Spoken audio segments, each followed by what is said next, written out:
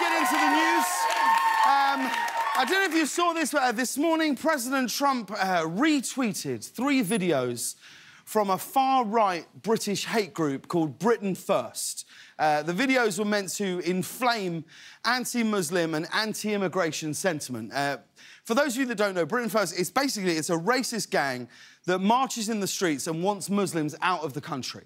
And I, I, for one, I'm just glad I now live in the United States, where thankfully nothing like that could ever happen. I mean, am I right? Um, Britain First was founded by a man named Jim Dowson, who got his uh, start in a town called Dundonald which frankly is exactly what we all wish we could say right now. You're done, Donald.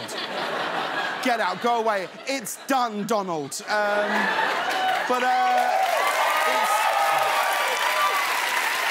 You're done, we're done, it's done, Donald. This group's, this group's videos, here's the thing, uh, we started looking into this story today, and this group's videos are so offensive, right? And, and this is true. This morning, when we tried to get onto their website, we couldn't because CBS has a policy, like many big corporations do, of blocking offensive websites. So, to review, that means that the President of the United States is allowed to retweet this stuff, but I could get fired for looking at it. It's, it's insane. Just to show you how dangerous it is that Donald Trump would retweet these videos, this morning, Theresa May, the British Prime Minister, she said, quote, it is wrong for the President to have done this. And then Americans were like, yeah, you're going to have to be way more specific. He's done like 25 awful things this morning. Uh, but this is outrageous. It's, it's an outrageous thing, and I, I, I, implore the president to take these tweets down. I mean, if he wants to retweet terrible British videos, go to the Late Late Show YouTube page. We got tons. we got so many terrible videos mean, there's too many. Uh, let's move on to some of the other horrible things the president's been doing. Uh, after Trump insulted them on Twitter, Democratic leaders Chuck Schumer and Nancy Pelosi declined to attend a meeting with him. But that didn't stop Donald Trump from showing up and doing a cheap photo op with two empty chairs. Uh, this was him there.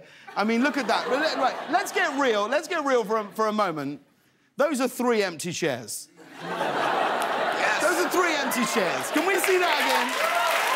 Look at that. I was looking at this photo. I was like, is this a photo of the president yesterday or every day at lunch in the third grade? Trump said he's used to sitting next to an empty seat. At home, he calls that date night with Melania. uh, now, Trump invited Schumer and Pelosi to the meeting, tweet tweeted insults at them, and then acted surprised when they didn't show up. And, like, of course they're not going to show up. That's like inviting someone to your birthday party and then writing at the bottom of the invitation, P.S., I think you're a stupid bitch.